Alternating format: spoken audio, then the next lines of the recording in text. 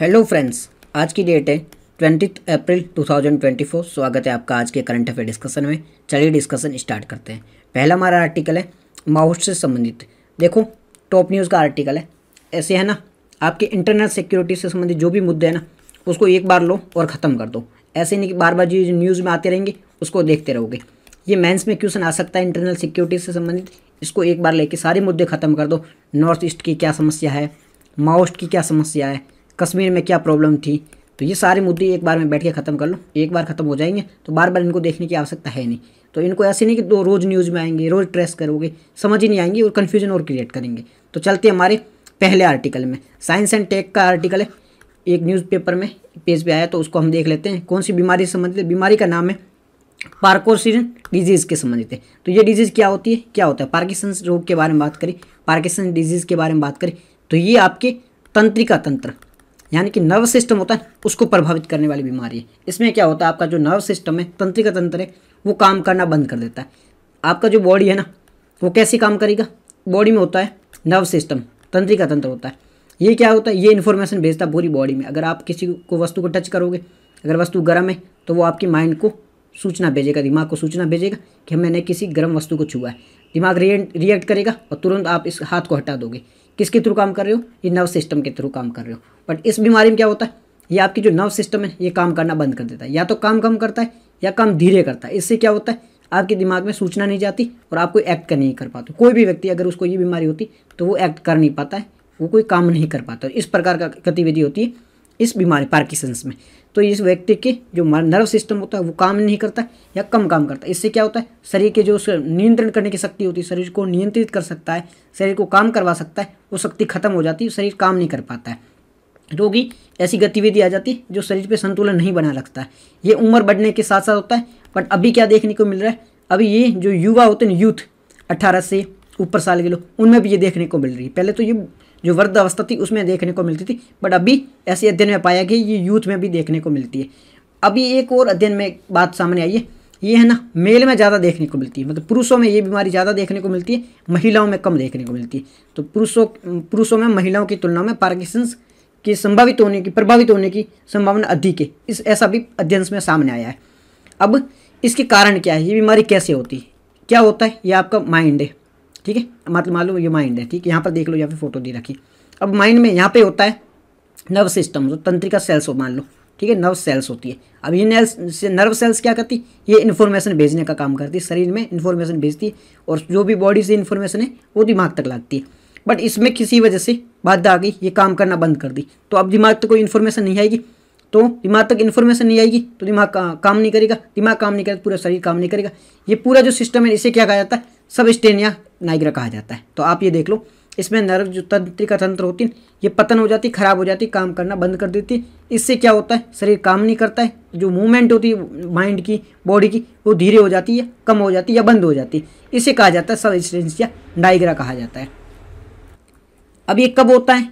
ये ऐसी परिस्थिति में या तो आपकी जो नर्व सेल्स है ना मतलब किसी भी पेशेंट की नर्व सेल वो या तो ख़त्म हो जाती है या ख़राब हो जाती। है या तो पहले ख़त्म हो गई या ख़राब हो गई, या फिर जो डोपामाइन होता है, डोपामाइन एक हार्मोन है, एक रसायन है। ये डोपामाइन कब रिलीज़ होता है? जब आप कोई ऐसी आकर्षक चीज़ देखते हो या बाहर की कोई भी चीज़ देखते हो, तब ये रिलीज़ होता है। ये रिलीज़ होता है ना तो आपके शरीर को इन्फॉर्मेशन देता है, शरीर उस हिसाब से एक्ट करता है, एक जोश से काम करता है एक्टिविटी तुरंत एक्शन लेता है। बट ये जो डोपामाइन ये रिलीज़ होना बंद होता है ये काम करना बंद होता है। अब डोपामाइन रिलीज़ नहीं होगा तो आप तुरंत एक्शन ले नहीं पाओगे। शरीर वो धीरे धीरे काम करेगा। इस प्रकार की सीन होता है। अब डोपामाइन क्या काम करता है? डोपामाइन है जो नर्व सिस्टम है उसको, ये आपका नर्व सेल्स है, ठीक है? और ये है मसल्स इन दोनों को जोड़ने का काम करता है। इन दोनों के मध्य कोऑर्डिनेशन यानी समन्वय बनाने का काम करता है। एक दूसरे से समन्वय बनाते, तभी ये दोनों काम कर पाते। बट ये डोपामाइन होगा ही नहीं तो ये दोनों समन्वय नहीं करेंगे तो आप एक्शन कर नहीं पाओगे। ऐसी परिस्थितियाँ बन जाती है। अब ये देखो, ये टूट गई, यहाँ से काम करना बंद इंजर्ड हो गई। अब यहाँ पे इन्फॉर्मेशन आगे नहीं आएगी इन्फॉर्मेशन आगे नहीं आएगी तो पूरा सिस्टम है काम नहीं करेगा मूवमेंट स्लो हो जाएगी और एक्शन ले ही नहीं पाओगे। ये नर्व सिस्टम कैसे काम करता है, वो आपको पता ही होगा, आपने लोकल बुक में पढ़ा हुआ, जो भी आप स्टेट में पढ़ते थे एन वगैरह, तब आपको पता ही होगा। पार्किसंस के इसके लक्षण क्या है? क्या कैरेक्टरिस्टिक है? काँप भी होता है, हाथ, पैर सब कांपने लगते हैं। कठोर शरीर के जो अंग होते हैं, बाकी स्ट्रिक्ट काफ़ी कठोर होते हैं। वृद्ध लोगों में आपने देखा होगा इनके शरीर तो काफ़ी कठोर हो जाते हैं। साथ ही साथ में क्या होता है, आप खा रहे हो, कोई चीज़ तो चबाने में दिक्कत आ रही है, बोलने में दिक्कत आ रही है, मूत्र मतलब जो भी वो करने में टॉयलेट करने में दिक्कत आ रही है, और स्किन संबंधी डिसीज़ देखने को मिल रही है तो बहुत सारी तो समस्या देखने को मिलती है। साथ ही साथ में वर्तमान में इसके लिए कोई उपचार नहीं है। इसके ठीक करने के लिए कोई टेस्ट नहीं है, कोई दवाई वगैरह है नहीं। तो ये बहुत ही भयानक बीमारी हो जाती है, क्योंकि इनके लिए कोई उपचार नहीं है। तो ये हमने देख लिया पार्किसंस डिज़ीज़ के बारे में। दूसरा, ये है, एक इकोनॉमी का पेज था, उसमें द हिंदू के इकोनॉमिक पेज से आर्टिकल है। ये आर्टिकल बात करता है इंडिया में है ना F I twenty five India में फाइनेंशियल ईयर ट्वेंटी फाइव यानी कि वित्त वर्ष दो हज़ार पच्चीस में नंबर्स ऑफ़ यूनिकॉर्न मतलब यूनिकॉर्न है ना, उनकी संख्या बढ़ेगी। यानी कि स्टार्टअप्स यूनिकॉर्न है, उनकी संख्या बढ़ने वाली है 2025 में। किसने कहा? एक रिपोर्ट में पाया गया। यूनिकॉर्न का मतलब क्या होता है? एक स्टार्टअप जिसकी जो वैल्यू है ना स्टार्टअप, ये कोई ऐसा स्टार्टअप है, प्राइवेट कंपनी है, जिसकी वैल्यू है एक बिलियन यूएस डॉलर। एक बिलियन यूएस डॉलर से अधिक हो ऐसी स्टार्टअप कंपनी को, यूनिकॉर्न कंपनी कहा जाता है। स्टार्टअप क्या है? जो न्यू इनोवेशन करने वाली जो कंपनी होती है, स्टार्टअप कहा जाता है। तो इनकी संख्या बढ़ने वाली है, ऐसा इकोनॉमी के पेज में कहा गया। तो ऐसी बारीक डिटेल तो काम की आवश्यकता है नहीं, हम देखेंगे नहीं। ठीक है नेक्स्ट जो है, ये एडिटोरियल है, द हिंदू के आठवें पेज पे दिया गया है। किससे संबंधित है ये एडिटोरियल ये एडिटोरियल बात करता है न्यू डाटा लॉ के बारे में। जो डाटा प्रोटेक्शन है, उससे संबंधित अभी यूरोपियन यूनियन के द्वारा एक लॉ गया, लाया गया। उसी की तर्ज पर भारत में भी लॉ लाया गया। तो उसके बारे में बात की, इसमें फंडामेंटल राइट की भी बात हुई। तो ये एडिटोरियल काफ़ी इंपॉर्टेंट है। ये आपको टेलीग्राम में मिल जाएगा। इसको ज़रूर देख लेना। काफ़ी अच्छा एडिटोरियल है। तो इसको देख सकते हो आप वहाँ पे। जीएस पेपर टू से संबंधित है ये। वहाँ पे काम आ जाएगा। फिर इन्वायरमेंट से संबंधित है। ये द हिंदू के पेज पे दिया गया। है जीएस पेपर थ्री से संबंधित है। ये आर्टिकल के बाद में बात करता है आर्टिक रीजन है ना, उसके बारे में ये बात करता है कि आर्कटिक रीजन में क्या चेंजेस देखने को मिल रहा है। ये प्रीलिम के लिए भी काम का है और मेंस के लिए भी काम का है। वहाँ पर क्या परिस्थितियाँ है? आर्कटिक काउंसिल के बारे में बात की गई है। तो ये भी मोस्ट ऑफ़ इसमें फोकस किए गए ना, वो यूपीएससी के आपके मेंस में क्वेश्चन बन सकता है। तो ये आपको एडिटोरियल डिस्कशन में मिल जाएगा। या फिर इस पर कोई बड़ा आर्टिकल है तो इस पर हम डिस्कस भी कर लेंगे। उसके बाद में नेक्स्ट जो है ये साइंस एंड टेक से संबंधित है ये है। पार्किसंस डिज़ीज़ के बारे में ऑलरेडी हम देख चुके तंत्रिका तंत्र से संबंधित जो बीमारी पार्किसंस शरीर काम करना बंद कर देता है। तो वो डिज़ीज़ के बारे में हम ऑलरेडी देख चुके ये जीएस पेपर थ्री में और जो प्रीलिम है, उसमें भी क्वेश्चन बन सकता है पार्किसन से संबंधित। ठीक है जी? नेक्स्ट जो आर्टिकल है, वो बात करता है एक रीजन के बारे में। कौन सा रीजन है? ये दगस्तन के बारे में। दगस्तन इसमें आपको क्या ध्यान रखना आपको इतना ही पता होना चाहिए। प्लेस एंड न्यूज़ में ये क्वेश्चन पूछा जा सकता है कि दगस्तन रीजन कहाँ पर है? ये है रसिया। ये रसिया रसिया का एक रीजन है। कहाँ पर है? West Russia south west Russia में एक रीजन है दगास्तान जो कैस्पियन सी के आसपास में। तो इसके बारे में आपको पता होना चाहिए कि दगास्तान कहाँ का रीजन है। रसिया का एक प्रोविंस है, रसिया का एक स्टेट है दगास्तान उसके बारे में पता होना चाहिए। सिंपल सी इतनी बात है कि दगास्तान कहाँ है? रसिया में। प्लेस एंड न्यूज़ से संबंधित क्वेश्चन बन सकता है प्रीलिम में। ये दगास्तान के बारे में देखा, ज़्यादा देखने की आपको आवश्यकता नहीं, बस कहाँ का रीजन इतना पता होना चाहिए। नेक्स्ट जो है, ये चीज़ है ना, इनका नाम आपको पता होना चाहिए। किनका नाम? पायलट गोपी थोटाकूरा के बारे में। तो ये पर्सन इन न्यूज़ में इंपॉर्टेंट बन सकते हैं। यूपीएससी में पूछे, न पूछे, और भी एग्ज़ाम में पूछा जा सकता है पायलट गोपीनाथ थोटाकुरा के बारे में। तो ये कौन से किससे संबंधित है? Pilot Gopi pilot Gopi Thotakura. ये संबंधित है। अभी N S twenty five mission भेजा जा रहा है। ब्लू ओरिजिन है, उनके द्वारा एक मिशन भेजा जा रहा है एन एस ट्वेंटी फाइव कहाँ भेजा जा रहा है ये मिशन ये भेजा जा रहा है स्पेस में। ये है ना, जो पर्यटक होते हैं, उनको स्पेस में भेजने का काम, जो टूरिज़्म होते हैं टूरिस्ट होते हैं, उनको स्पेस में भेजने का काम करता है ये मिशन तो N S twenty five mission है। किसके मिशन है? ये ब्लू ओरिजिन का मिशन है। इनके द्वारा पायलट गोपी थोटाकुरा को स्पेस में भेजा जाएगा। इसके साथ में, गोपीनाथ के साथ में पाँच और सदस्यों को भेजा भेजा जाएगा। यानी कि टोटल छः लोगों को स्पेस में भेजा जा रहा है। ये गोपिन है ना, गोपी थोटाकुरा जी, ये दूसरे भारतीय बन गए। इनसे पहले राकेश शर्मा जी, जो कि स्पेस में जाने वाले पहले भारतीय थे। राकेश शर्मा के बाद में गोपी थोटाकुरा है। वो दूसरे भारतीय बन गए जिनको स्पेस में भेजा जा रहा है। तो इनके बारे में आपको इतना ही पता होना चाहिए स्पेस में भेजे जाने वाले दूसरे व्यक्ति, नाम क्या है? गोपी थोटाकुरा कौन सा मिशन है? N S twenty five. किसके द्वारा लाया गया मिशन मिशन ब्लू ओरिजिन का है। कहाँ भेजा जाएगा? स्पेस में भेजा जाएगा। तो थोड़ा बहुत आइडिया होना चाहिए। किसी भी एग्ज़ाम में क्वेश्चन आ सकता है। ठीक है जी? नेक्स्ट बाकी जिसका नाम है, आपको सभी के नाम याद रखने की आवश्यकता नहीं है। आपको गोपी छोटागुरा का नाम याद होना चाहिए। नेक्स्ट आर्टिकल इंडियन मेट्रोलॉजिकल जो डिपार्टमेंट है, उन्होंने एक भविष्यवाणी की, उससे संबंधित है। इन्होंने क्या भविष्यवाणी की इन्होंने भविष्यवाणी की, भारत में है ना, इस वर्ष में जो मानसून, जो ईयर आने वाला है, उसमें जो पिछले साल की तुलना में रेनफॉल ज़्यादा होने की इन्होंने भविष्यवाणी की। बारिश है वो पिछले साल की तुलना में यहाँ पर ज़्यादा होगी, ऐसी भविष्यवाणी की इंडियन मेट्रोलॉजिकल डिपार्टमेंट के बारे में। तो ये साउथ वेस्ट मानसून के दौरान यहाँ पर बारिश ज़्यादा होगी, ऐसी भविष्यवाणी की है, ये पूरा मैं आपको दे रखा है। पहले हम बात कर लेते हैं इन्होंने भविष्यवाणी में क्या कहा है। देखो, काफ़ी डिटेल में छोटे छोटे वर्ड दे रखे इनके बारे में इतने परसेंट बारिश होगी, इतना नहीं, आपको ये ध्यान नहीं रखना। इनकी भविष्यवाणी क्यों की गई, उसके पीछे का बैकग्राउंड क्या, उसके बारे में देख लेते हैं। तो इंडिया में बारिश के लिए अलग अलग रीज़न है। रेस्पॉन्सिबल इंडिया जो बारिश होती है, ठीक है, उसके लिए अलग अलग कारण है, वो जिम्मेदार है। पहला हम बात कर लेते हैं अलिनो एंड लानिनो ठीक है, इसके बारे में मोस्ट ऑफ़ लोगों को पता ही होगा जियोग्राफी में आपने पढ़ा होगा अलिनो लानिनो के बारे में। अलिनो क्या होता है? ठीक है, ये है साउथ अमेरिका। ठीक है एग्ज़ाम्पल के लिए देख लो, ये मैं सही नहीं बना बट ये साउथ अमेरिका है। यहाँ पर एक देश है पेरू। ठीक है, पेरू चिल्ली वगैरह यहाँ पे देश है। यहाँ पर एक करंट बहती है। जनरली ये करंट होती है ना ये होती कोल्ड करंट होती है। यहाँ का टेम्परेचर इस करंट का कोल्ड होता है मतलब ठंडी धारा है। अब ये ठंडी धारा नॉर्मल समय में होती है। बट कभी कभी क्या होता है, तीन से चार सालों में ये जो ठंडी धारा है ना, ये गर्म धारा बन जाती है। यानी कि इसका टेम्परेचर वार्म हो जाता है। तो ये ठंडी धारा वार्म धारा में, यानी कोल्ड करंट वार्म करंट में परिवर्तित हो जाती अब ये वार्म करंट बनेगी तो इसका टेम्परेचर वार्म होगा। अब इसका टेम्परेचर वार्म होगा तो ये पूरा रीजन है इसका टेम्परेचर भी क्या हो जाएगा? वार्म हो जाएगा, यानी गर्म हो जाएगा। अब इसका टेम्परेचर गर्म होगा तो क्या होगा? सिंपल सी, यहाँ पर लो प्रेशर बनेगा। क्योंकि जहाँ पर तापमान गर्म होता है टेम्परा टेम्परेचर हाई होता है ना, ठीक है? टेम्परेचर हाई होता है, उसका मतलब है वहाँ पर लो प्रेशर बनेगा। अब यहाँ पर लो प्रेशर बनेगा तो बारिश कहाँ होगी? यहीं पे होगी, आसपास के रीजन से बारिश यहाँ होगी। अब एक बार देख लो, ये कौन सा रीजन है? ये दक्षिण अमेरिका का रीजन है, ये पेरू है, यहाँ पर ये करंट है लो प्रेशर बन गया है, क्योंकि ये वार्म करंट बन चुकी है, ठीक है? ये वार्म करंट बन चुकी है, यहाँ टेम्परेचर लो हो चुका है, बारिश यहाँ हो रही है। तो यहाँ पर है भारत है। यहाँ पर मान लो ऑस्ट्रेलिया है, ठीक है? ये ऑस्ट्रेलिया है। तो यहाँ पर बारिश नहीं होगी। इस रीजन में बारिश नहीं होगी, यहाँ पर बारिश ज़्यादा होगी, क्योंकि टेम्परेचर है, इसका वार्म है। अब बात कर लेते हैं इसका उल्टा। सामान्यतः कैसे देखी थी हमने? कोल्ड देखी थी। बट कभी कभार क्या होता है? इस परिस्थिति को क्या कहता है? हमने पिछली परिस्थिति को, इसको कहा जाता है अल नीनो। अल नीनो में क्या होता है? टेम्परेचर इसका हाई हो जा टेम्परेचर हाई हो जाता है और प्रेशर होता है लो हो जाता है, यानी कि ये करंट है। ये वार्म हो जाती, गर्म हो जाती। इसको कहा जाता है अलनीनो लेकिन सेकंड परिस्थिति होती है नॉर्मल में कोल्ड थी कभी कभार तीन से चार सालों में गर्म हो जाती और कभी कभार तीन से चार सालों में ये ज़्यादा ठंडी हो जाती। जो नॉर्मल ठंडी होती, उससे भी ज़्यादा ठंडी हो जाती। अभी ज़्यादा ठंडी होगी तो यहाँ पर टेम्परेचर कितना होगा? टेम्परेचर कम होगा प्रेशर होगा, वो हाई प्रेशर होगा।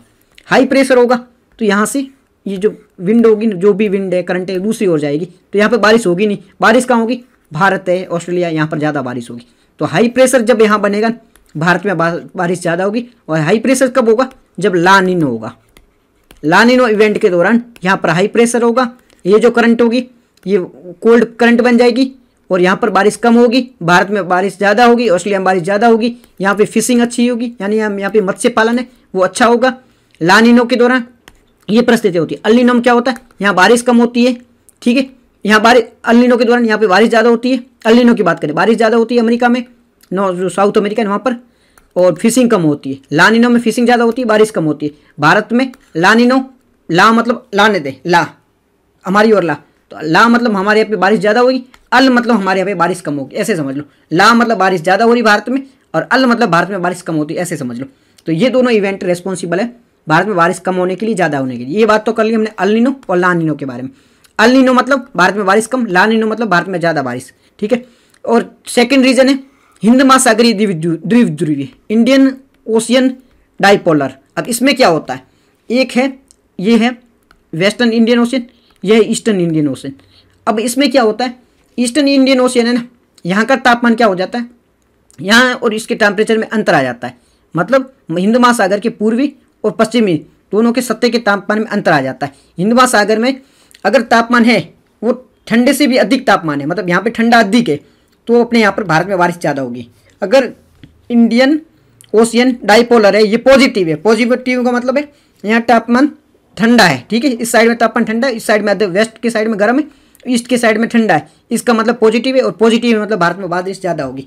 तो ये जो हमने भविष्यवाणी की है ना आईएमडी ने, भविष्यवाणी इसी आधार पर की है कि अभी ये है ना, एक तो अलिनो आने वाला है, ठीक है? अलिनो है, इसलिए भारत में बारिश ज़्यादा होगी। और दूसरी बात है, जो आई इंडियन ओशियन डाइपोलर है ये भी पॉजिटिव है, इसलिए भारत में बारिश आने की वाली संभावना ज़्यादा है। ये देखो, पूर्व में अलिनो है, वो कमज़ोर हो रहा है लानिनो है, वो स्थिति आ सकती है। दूसरी इन्होंने जो आईओडी है, वो सकारात्मक यानी पॉजिटिव है, इसलिए भारत में बारिश आने की संभावना ज़्यादा है। अब कहाँ का बारिश आएगी, कितनी आएगी, ये पॉइंट आपको याद रखने की आवश्यकता नहीं, ये तो बहुत बेसिक पॉइंट हो गया। प्रभाव क्या पड़ेगा? नॉर्थ ईस्टर्न एशियन में जो कुछ रीजन है, इनको छोड़ के मतलब वेस्ट में राजस्थान वाला भाग है, यहाँ पे बारिश कम होगी। ईस्टर्न रीजन है, नॉर्थ ईस्टर्न, वहाँ पे बारिश कम होगी। बाकी रेस्ट भारत में बहुत ज़्यादा बारिश हो सकती। है ये कहना है इंडियन मेट्रोलॉजिकल डिपार्टमेंट के बारे में। तो ये हमारा पूरा आर्टिकल इससे संबंधित था। चलते हमारे नेक्स्ट आर्टिकल की ओर। नेक्स्ट जो आर्टिकल है, वो इंडिया ने, जो ईरान है ना, इन्होंने, देखो, क्या हो रहा था कुछ टाइम पहले। इसराइल पे उसके बाद में अटैक भी किया गया ईरान के द्वारा। हमने एक वीडियो भी बनाया। यहाँ से एक जहाज़ आ रहा था। ये जहाज़ किसका था? इसराइल का था। इसमें भारतीय मेंबर थे। सत्रह भारतीय थे, तीस तीन दूसरे थे। अब ईरान के द्वारा इस जहाज़ को कैप्चर कर लिया हाईजैक कर लिया अब इसमें तीन, सत्रह इंडियन भी थे। बाद में इंडियन गवर्नमेंट का इनको फ़ोन किया ईरान को, भाई हमारे मेंबर को क्यों अपने किया है? तो अब ईरान ने क्या कहा कहा है? ईरान ने कहा है कि आप भारतीय जो जो भी ऑफिसर वगैरह है, वो इंडियन मेंबर से मिल सकता है, वार्तालाप कर सकता है, ऐसा ईरान ने कहा है। तो इससे संबंधित है। तो हम ऑलरेडी इसको चुके, संबंधित देख भी चुके ये रीजन काफ़ी ज़्यादा न्यूज़ में इस पर डेफिनेटली क्वेश्चन पूरे तो इसके बारे में सब पता होना चाहिए। पैरसिन गल्फ कहाँ है? ठीक है गल्फ ऑफ़ ओमान कहाँ है? ईरान है? नज़दीक देश कौन सा है? सऊदी अरब सब कुछ पता होना चाहिए इसके बारे में। ठीक है जी? नेक्स्ट जो आर्टिकल है, वो हम देख चुके हैं। उसके बाद में है, ये बात करता है असम की एक रिवर के बारे में, उसके बारे में बात करते हैं। कौन, क्या रिवर का नाम क्या रिया है। रिवर रिवर का नाम है जिया दल रिवर जिया दल रिवर सबसे पहले इसका ओरिजिन कहाँ से होता है? इसका ओरिजिन होता है अरुणाचल प्रदेश से। अरुणाचल प्रदेश से जो हिमालयन रीजन है, वहाँ से इसका ओरिजिन होता है। आगे बहती हुई ये ब्रह्मपुत्र रिवर में मिल जाती है, ठीक है? अलग अलग नामों से जानी जाती है, इसे कुमोटिया भी कहा जाता है, संपारा रिवर भी कहा जाता है। अलग अलग रिवर में बहती है, बाद में सेलालू के पास में ब्रह्मपुत्र में मिल जाती है। ये बहुत ज़्यादा वहाँ पे साथ में जो गाद है, कचरा है, ये सारा लेके जाती है, जो आसपास का रीजन है, वहाँ जमा जाती है और इसकी तल है, वो भर गई है स्थिति इसकी चेंज हो गई है। पहले कहीं और बहती थी, अलग जगह बैठने लगी, अलग पैटर्न अपनाती है बिकॉज़ की इसमें गाद वगैरह बहुत ज़्यादा साथ में आती है, बाढ़ के दौरान। तो ये जियादल रिवर के बारे में थोड़ा बहुत आपको आइडिया होना चाहिए, किसकी सहायक नदी कहाँ से ओरिजिन होता है। ठीक है जी? उसके बाद में जो नेक्स्ट आर्टिकल है, वो वल्चर के बारे में। न्यूज़ में क्यों है? अभी एक रिपोर्ट आई है कि वल्चर है ना, वो जो है ना, गाय, भैंस, पहले पहले समझा गाय, भैंस खाते हैं और उसके कारण डेथ होती है। बट अगर इन सब में स्थिति सुधार दो, जो जो भी मरे हुए जीवों को खाती है, अगर इनके साथ में डेंजर केमिकल वगैरह नहीं है तो इनकी जो स्थिति उसमें सुधार लाया जा सकता है। इनकी संख्या में जो गिरावट हो रही है, उसमें कमी की जा सकती है। तो इस रिपोर्ट में थोड़ा बहुत पॉइंट थी। हमारे लिए वो इंपॉर्टेंट नहीं, हमारे लिए वल्चर इंपॉर्टेंट हो जाते। भारत में वल्चर की कितनी प्रजातियाँ तो वैसे बात करें वल्चर है ना, बाईस उन प्रजातियों में आता है, जो कि पक्षियों को खाते हैं। मरे हुए पक्षियों के मांस खाते हैं, वो उनमें से वल्चर आते हैं। और ये कहाँ पाए जाते हैं? ये उष्ण यानी कि ट्रॉपिकल और सब ट्रॉपिकल यानी उपोष्ण कटिबंधीय रीजन में देखे जाते हैं। प्राकृतिक रूप से महत्वपूर्ण कार्य करती है और इनकी डेथ कैसी हो रही थी? डेथ का हमें पता ही है कि ये है ना, जो मरे हुए पशु होते हैं मतलब पशु होते हैं ना, उनको ठीक करने के लिए एक दवाई दी जाती है। कौन सी दवाई होती? दवाई का नाम है डाइक्लोफिनेकल अब डाइक्लोफिनेकल दवाई दी जाती अगर पशु मर जाता उसके बाद में ये दवाई उसके पेट में रह जाती फिर जब वल्चर इनको खाते तो उनका भी देहांत हो जाता है। ये खतरा है। बाद में ह्यूमन है, वो इनके हैबिटेट में जा रही है, इनको नुकसान पहुँचा जा रहे हैं। इलेक्ट्रिक जो फेंसिंग लाइन है वगैरह इनके कारण भी नुकसान हो रहा है। तो ये सारी है, वो इनके लिए थ्रेट बन चुकी है। तो ये बात कर चुके हम वल्चर के बारे में। इंडिया में वल्चर की नौ प्रजातियाँ देखी जाती है। कौन कौन सी है? ओरिएंटल वाइट बैक्ड वल्चर है क्रिटिकल इंडेंजर्ड कैटेगरी में आता है। थोड़ा बहुत ये आइडिया होना चाहिए। इंडियन जो ओरिएंटल वाइट बैक्ड वल्चर है, ये क्रिटिकल इंडेंजर्ड में आता है। फिर सिलेंडर्ड बिल्ड वल्चर ये क्रिटिकल इंडेंजर्ड है। फिर लॉन्ग बिल्ड वल्चर ये क्रिटिकल इंडेंजर्ड फिर इजिप्टियन वल्चर ये इंडेंजर्ड है। फिर रेड हेडेड वल्चर ये क्रिटिकल इंडेंजर्ड है। Indian griffon vulture least concern Himalayan near threatened ये सीनेरियस ये नियथर्टन फिर बियर्डर हेडेड वल्चर ये नियथर्टन है। तो नौ के बारे में पता होना चाहिए चार है, वो क्रिटिकली इंडेंजर्ड है, एक जो इजिप्टियन वाली है इंडेंजर्ड है, बाकी जो लिस्ट कंसर्न और नियथर्टन है। तो इनके बारे में आइडिया हो ना हो, इनके बारे में आइडिया ज़रूर होना चाहिए। ये कौन सी कैटेगरी में आई? आई की। ये ज़रूर क्वेश्चन आना इस पर क्वेश्चन आएगा और आपको पता भी नहीं चलेगा तो इस पर डेफिनेटली क्वेश्चन बन सकता है। इसके बारे में पता होना चाहिए। यूपीएससी ऑलरेडी क्वेश्चन पूछ चुका है। ये वल्चर के बारे में कि इनकी मौत हो जाती, क्यों होती, इस चार रीज़न दे रखे पहले, ये देखो, ये तो ये तो आंसर हो नहीं सकता है। फिर भोजन जो मिलता है, उसमें कमी आ रही है? नहीं, भोजन में कमी नहीं आ रही। फिर ये देखो, जो पशु वगैरह होते हैं ना, उनमें उपचार के लिए दवाई यूज़ की जाती है। तो हमने देखा था, दवाई यूज़ की जाती है, फिनिकल वगैरह तो वो उसके कारण मृत्यु हो जाती है। तो ये रीज़न नहीं दूसरा हमारा आंसर हो जाएगा। तो ये देख ही लो, इसके बारे में ये आंसर भी देखा डाइक्लोफिनिकल यूज़ की जाती है, इसके कारण इनकी मृत्यु हो जाती है। तो ऐसे क्वेश्चन बनते हैं, इसके बारे में थोड़ा ध्यान होना चाहिए। फिर नेक्स्ट जो आर्टिकल है वो ऑपरेशन मेघदूत के बारे में सियाचिन ग्लेशियर को वापस लिया, इससे संबंधित था। तो सबसे पहले ये ऑपरेशन क्यों चलाया गया था? एक बार इसकी लोकेशन देख लो, लोकेशन काफ़ी ज़्यादा इंपॉर्टेंट हो जाती है। ये है सियाचिन ग्लेशियर, ठीक है? ये कौन सा रीजन है? ये काराकोरम पास है और ये काराकोरम हिल है, ठीक है? काराकोरम रेंज है। यहाँ पर लोकेटेड है सियाचिन ग्लेशियर। वर्ल्ड का है ना? सेकंड आता है मतलब दो पोल को छोड़ दो, उत्तरी पोल नॉर्थ पोल उसके बाद में अगर किसी को काउंट करें तो ये सेकंड नंबर पे आ जाए। सबसे बड़ा ग्लेशियर है, दूसरा सबसे बड़ा ग्लेशियर है। काराक्रम कोल, काराक्रम पास और काराक्रम रेंज के पास में पड़ता है। यहाँ पर क्या होता है? यहाँ पर पाकिस्तानी जो फौज थी, उन्होंने कब्जा कर लिया था। अब कब्जा करने से क्या हुआ? अब यहाँ से कब्जा करने से भारत के पास में एक्सेस चला गया था। नुकसान ये था, अगर पाकिस्तान यहाँ पे कब्जा करता तो भारत के पास से ये भी काराकोरम रेंज चली जाती। काराकोरम के पास के ये चाइना कब्जा कर लेता तो भारत की यहाँ पे जो लोकेशन है ना, वो खतरे में आ जाती। लद्दाख पे भारत का खतरा कंट्रोल छूट सकता था, पूरा कश्मीर भारत के हाथ में जा सकता था। ऐसी परिस्थिति बन गई थी। अब पाकिस्तान ने एक ऑपरेशन चलाया था। पाकिस्तान का ऑपरेशन का नाम पाकिस्तान के ऑपरेशन का नाम था अबाबिल। ये पाकिस्तान के द्वारा चलाया गया था। इसके द्वारा पाकिस्तान इस लोकेशन पे कब्जा करना चाहता था। ये काफ़ी स्ट्रेटेजिक पे भारत के लिए काफ़ी ज़्यादा महत्वपूर्ण हो जाता है। अगर इस पर कब्जा है तो भारत पूरे इस आसपास के रीजन में निगरानी रख जाता है, क्योंकि ये काफ़ी ऊँचा पॉइंट है। तो यहाँ से निगरानी रखना ईजी हो जाता है। तो इसको लेने के लिए भारत ने ऑपरेशन मेघदूत चलाया। इसका उद्देश्य ये था, भारत को इस वापस पॉइंट लेना है। तो ये काफ़ी ऊंचाई पर लड़ा गया है युद्ध। है भारत का वर्ल्ड का है ना, वर्ल्ड का हाईएस्ट बैटल फ़ील्ड है। मतलब ये सबसे ऊंचाई पर लड़ा गया युद्ध था और हाईएस्ट बैटल फ़ील्ड है। काफ़ी हज़ार मतलब सेंटीमीटर ऊपर है टेम्परेचर बहुत लो रहता है। ऐसी परिस्थितियों में भारत ने पाकिस्तान को हराकर ये पॉइंट वापस लिया था। कब की बात हो रही है? ये 1984 के बारे में बात हो रही है। उन्नीस सौ चौरासी में ये हमने वापस लिया था पाकिस्तान से, तब के तब से बात हो रही है। तो ये हमारे लिए काफ़ी ज़्यादा महत्वपूर्ण था ये पल कि हमने ये ना छुड़ाया था। तेरह अप्रैल उन्नीस सौ चौरासी को सुबह दुनिया के दिन ये युद्ध क्षेत्र चलाया गया था और इस ऑपरेशन के माध्यम से हमने वापस लिया था। पाँच से सोलह हज़ार की फिट की ऊंचाई पर ये युद्ध हमने लड़ा था और भारत ऐसा पहला देश बन गया जो इतनी ऊंचाई पर, जो पूरा वॉरफेयर लेके, सेना की टुकड़ी लेके उतना ऊपर तक चला था। यहाँ पर एक हमने मिलिट्री बेस भी बना रखा है तो भारत एकमात्र पहला देश है जितनी इतनी ऊंचाई पर भी कब्जा कर रखा है। सियाचिन ग्लेशियर, काराकोरम रेंज और वहाँ पर स्थित है। हमने देख लिया, काराकोरम रेंज का और काराकोरम पॉस के बीच में स्थित है। सबसे ऊँची चोटियों पर एक ही है यहाँ पर सिलाट और कांगड़ी है सिया कांगड़ी की आदि भी शामिल है। ठीक है? नुब्रा रिवर है, उसका ओरिजिन भी यहीं से होता है। लद्दाख जो है, वहाँ पर अभी ये स्थिति है। इससे इसका मतलब होता है गुलाब का स्थान, जहाँ पर गुलाब खिलते हैं, वैसे स्थान को सियाचिन कहा जाता है। और दुनिया का सबसे ऊँचा युद्ध क्षेत्र है। और सोन, यहाँ पे बात करें तो यहाँ पर हेलीपैड भी बना हुआ, सोनम हेलीपैड वो वहाँ पर बनाया गया था। तो काफ़ी इंपॉर्टेंट है ऑपरेशन मेघदूत, इसके बारे में पता होना चाहिए। नेक्स्ट जो है वो एडिटोरियल है कि जो एविएशन सेक्टर है, इसके माध्यम से कार्बन डाइऑक्साइड का कितना एमिशन होता है, इससे संबंधित एडिटोरियल तो ये एडिटोरियल में कवर हो जाएगा। तो आज के डिस्कशन में इतना ही था। Thank you thank you very much for discussion